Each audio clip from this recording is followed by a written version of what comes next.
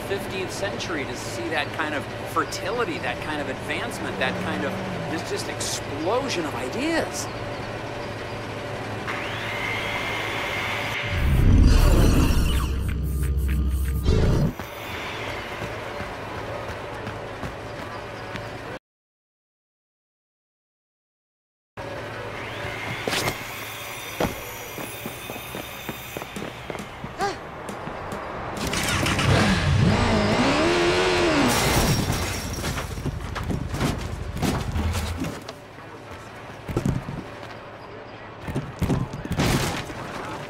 I don't...